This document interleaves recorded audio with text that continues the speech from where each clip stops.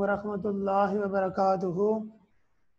10th class computer chapter number 2 programming in C and today we have lecture number 9.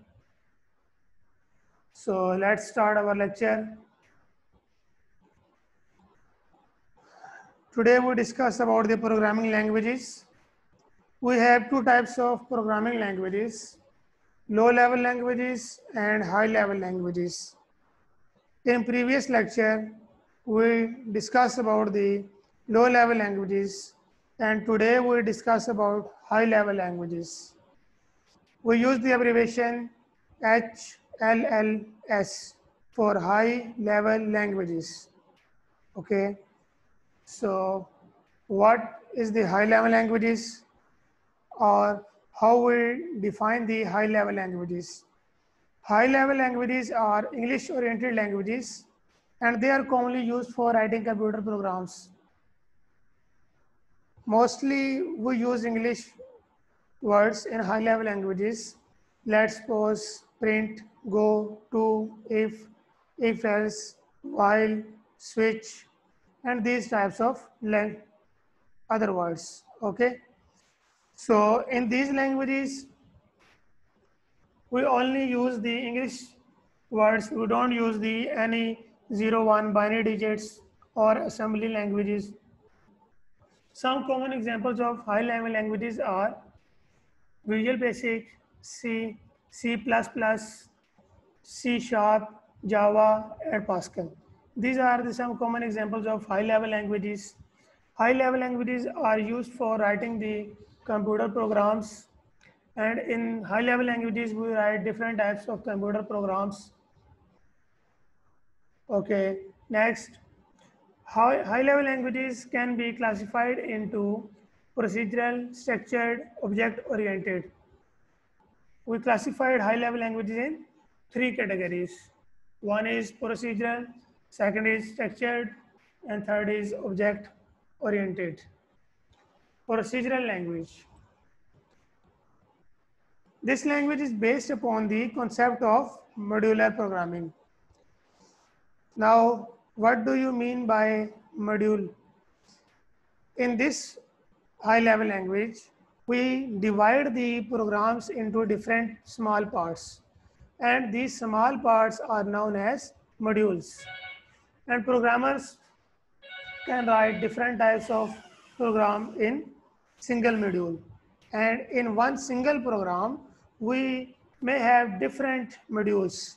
Let's suppose if we write a single program for the Pak Army and we have different types and different आप ये समझ लें कि आपके पास salary का एक project आया है ठीक है now we have to conduct the salary of soldier, captain, and colonel. Okay, these are three categories. So we can divide a single program in three modules. One module for the soldier, second for the captain, and third for the colonel. Okay, so it means in a single program we have different modules. It doesn't matter. So some examples of procedural languages are Fortran, Pascal, C, and Basic in these languages we can use the different modules in a single program. Now what do you mean by structured languages? Structured languages consist of three fundamental elements which are sequence selection and repetition. Okay in structural languages we write the program in a logical sequence. Let's suppose if you have to find the factorial of a program. Now, if we have to find factorial of a program, our first step is to in initialize the variable f equal to 1. Okay. And second step is initialize the one variable for the loop. Let's suppose i and we take the i equal to 1. And then we use the loop or we can use the condition structure. for finding the factorial. So this program is the structured program. In this program, we write all the statements logically and by sequence and program or controller can execute these instructions stepwise, okay, one by one. First of all, controller starts from the step number one, then it goes to step number two, then it goes to step number three, and up to so on. Okay. Now let's discuss about the sequence selection and repetition. Okay. Our first term is sequence. Sequence means writing a program statements in a logical sequence. Each step in the sequence must logically progress to the next without producing an undesired effects. I already discussed about the sequence. देखिए मैंने आपको अभी इसके बारे में बता भी दिया कि सीक्वेंस क्या होता है in sequence we have to write the program in logical sequence and control and controller can execute the program stepwise.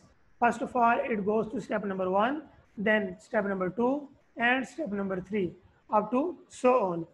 And without any undesirable effects. Undesirable effects mean if program or controller starts from the step number one, two, three, four, and up to so on. But it produce some undesirable results mean let's suppose your answer is 120 but program can execute answer 125 so it's mean it produce undesirable effects 5 is extra your answer is 120 but programs gives you 125 so your answer is wrong okay so it's mean in sequence you write all the statements in logical sequence and controller can execute stepwise but without producing any undesirable effects.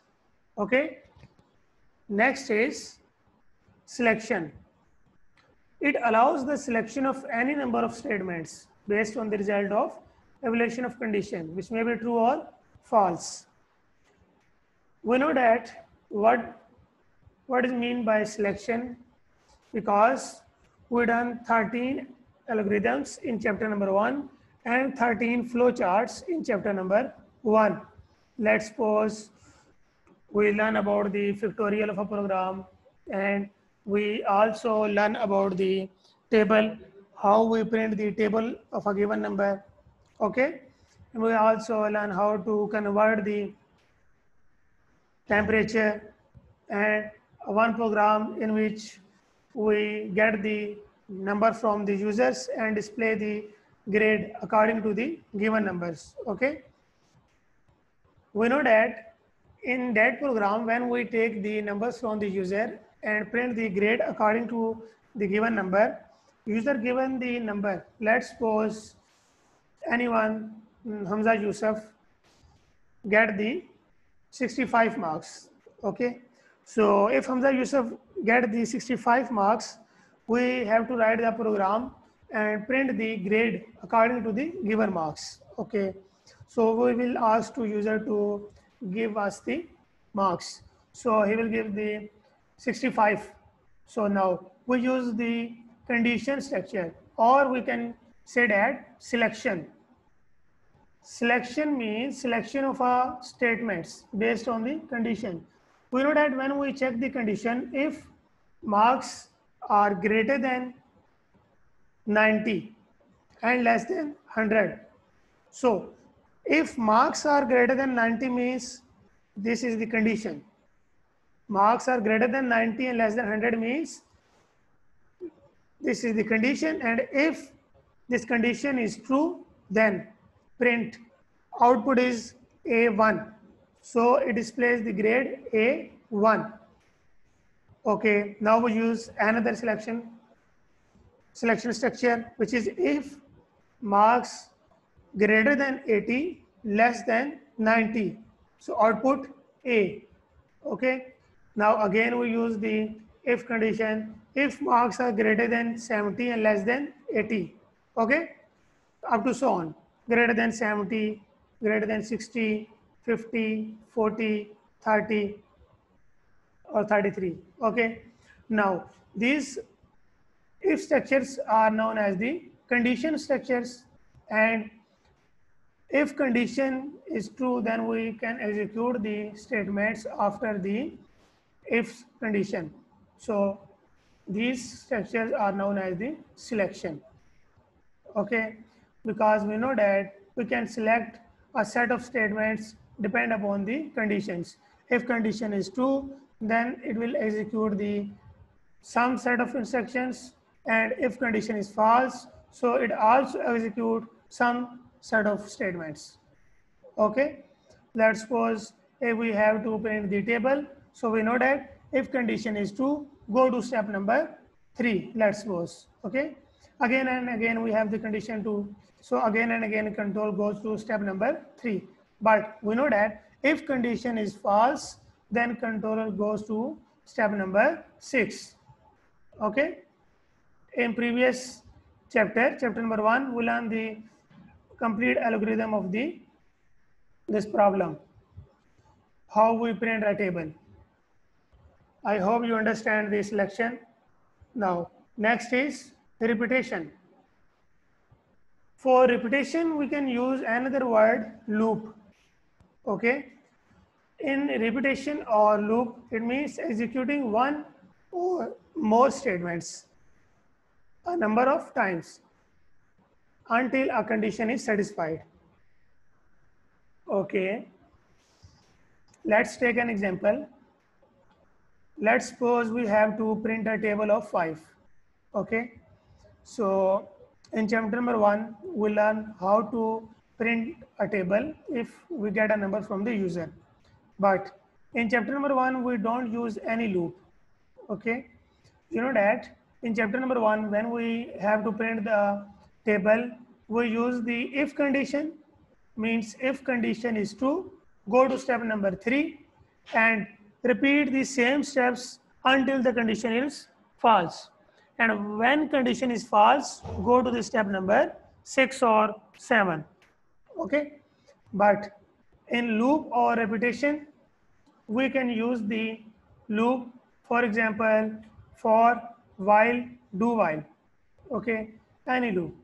So if we use the loop, we have to one get one variable for initializing the loop. Let's suppose k equal to one or i equals to one. Okay and up to numbers. Let's suppose we have to print a table of 5 and we know that we can print the table of 5 until 10 means 5 multiply 1, 5 multiply 2, 3, 4, 5, 6, 7, 8, 9, 10. Okay. So we use the loop starting from 1 to 10 and increment by 1 by 1. So 1 plus 1, 2, 2 plus 1, 3, plus 1, 4 plus 1, 5. Okay. So in loop, we must have three things. First is initializing variable. Okay. Or we can say that a variable from where we have to start the loop. And normally we start from the 1. Okay. So i equal to 1. Second thing, second thing in loop, we must know the total number of total number of executions. Okay? Let's suppose in table we have 10 1 to 10 because we know that table can start from 1 and end at 10 okay? And uh, in factorial we know that starting from 1 to given number. Let's suppose if we have the have to find the factorial of 5 so we have to execute 5 times. Because 5 multiply 4 multiply 3 multiply 2 multiply 1 okay Okay, let's take another example. Hmm. We know that we learn the algorithm print odd numbers and odd number starts from 1 to 100. Okay, so how many times? Total 50 odd numbers. Okay, so now in this program, i equal to 1 and how many executions? 50. Okay, so we start from 1 to 50 executions and increment. Third step is increment, which we use in loop. Increment means we know that in chapter number one, we done k equals to k plus 1. It means we will add the value of k with plus 1. If we have k equal to 2, after increment, it will be 3. If we have k equal to 3, after increment, it will, it will be 4. So in loop, we must have three variables. Initializing variable starting from 1, second is how many we require the executions, and third, increment. These three things are necessary for the repetition or loop, loop structure. Okay. So let's start the next topic. Object oriented programming. Okay, G. The abbreviation used for object oriented programming languages OOPS. Object oriented programming languages. Okay. Now, what do you mean by object oriented programming languages? These languages refers to a programming method that is based on objects, okay, such as student, vehicle, building, etc. Now, in these types of programming languages, we can provide a set of rules for defining and managing objects. Let's take an example for these type of programming languages. Let's suppose we have a vehicle, okay? we have a car, let's suppose, and we have to write a program about the car in these language object oriented programming languages. So we will discuss about the doors, okay, doors, mirrors, seats, these types of ये खसूसियात होती है ना एक car की उसके दरवाजे हो गए ठीक है डोर्स हो गए फिर उसके बाद सीट्स हो गए उसके मिरर्स हो गए लाइट्स हो गई इन तमाम चीज़ों को अगर आप डिस्कस करेंगे तो ये ऑब्जेक्ट ओरिएंटेड लैंग्वेज में आता है।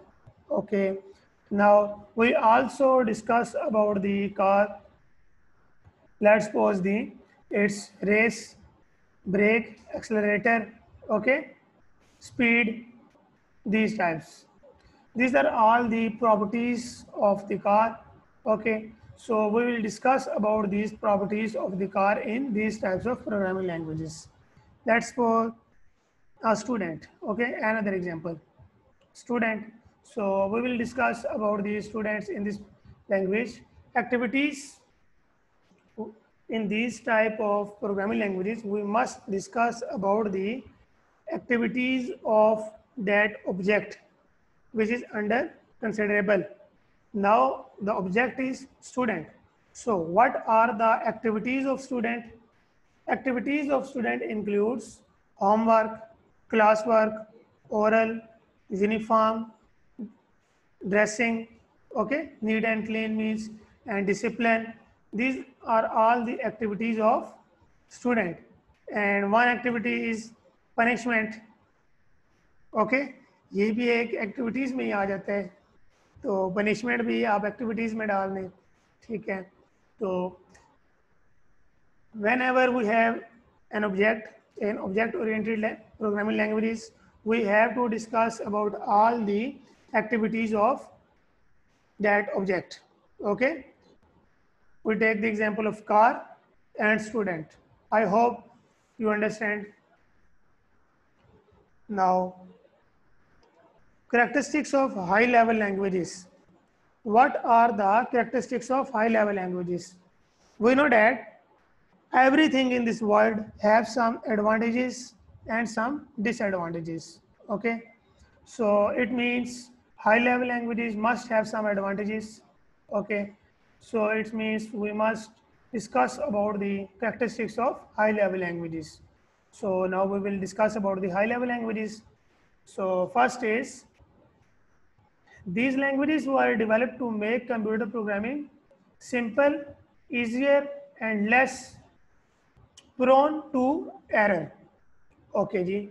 Now, as we know that in low level languages, we write the program in binary digits means zero or one machine languages.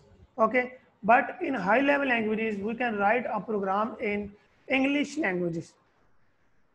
So as we write the program in English words, let's suppose print, if, if else, go, while, do while, switch. So it means we will e easily debug our errors, okay? So it means it is easy to use high level languages. So that's why we can say that high level languages are simple and easier.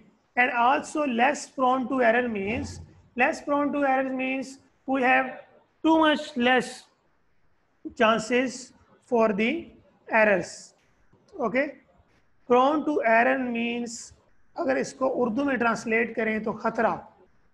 इसका translation है परोन का mean शिकार to एरन means ख़तरा okay और next high level language are not machine dependent they enable programs to write programs that are independent of a particular type of computer as we know that in high level languages if we write a program so if we write a program on the computer a it cannot be executable in computer b because every computer have different design okay so machine languages which we use in the computers if we write a program in machine language, means in binary digits and in computer number A, so it can only executable in computer A because it has its own design and computer B has its own design. Okay, so that is the difficulty for a programmer. So if we use the high level languages, if we write a program in computer A, we can execute this program in computer B, C, D, E, F, any other computers. It doesn't matter. Okay. And also it will produce the correct result. This is the main characteristics of the high level languages. Okay. So it's mean we can say that high level languages are independent of a particular type of computer. Okay. Now, next characteristics. Programs written in high-level languages must be translated into machine language by the compiler or an interpreter before execution by the computer. Because we know that computer can only understand the machine languages means binary digits. And computer can only works in zero and one. We know that computer cannot understand while, do while, switch and if else. Computer can only understand 0 and 1 means binary digits. So when we write a program in high level languages, it must be converted into the machine level languages or translated into machine level languages. Okay, before execution by the computer. Because if we cannot translate or convert the high level languages program into machine level languages, then computer will not understand what we will write in the program.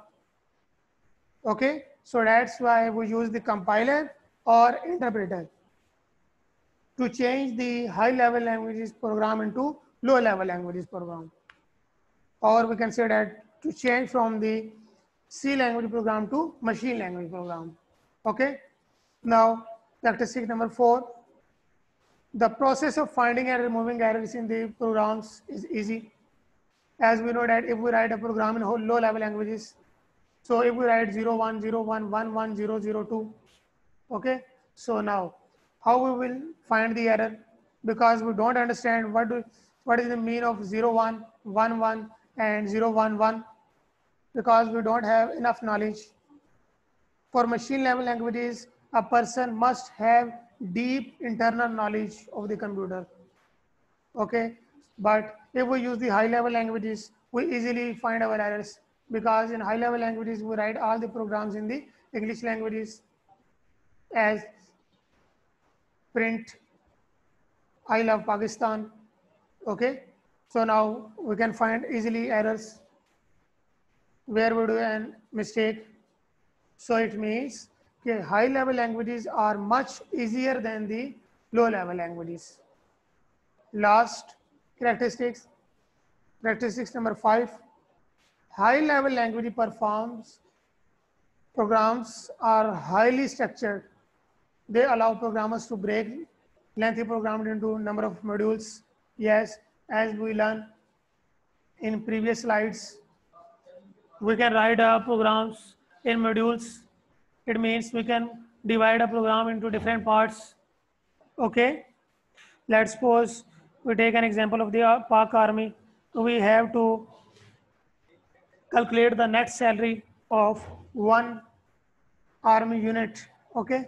And in one unit, we know that we have different types of persons. Some are soldiers, some are sweepers, some are cooks, some are captain, colonel, brigadier. Okay. So all these have different criteria of salary. All these have different types of allowances. Okay. So all have different types of medical allowances.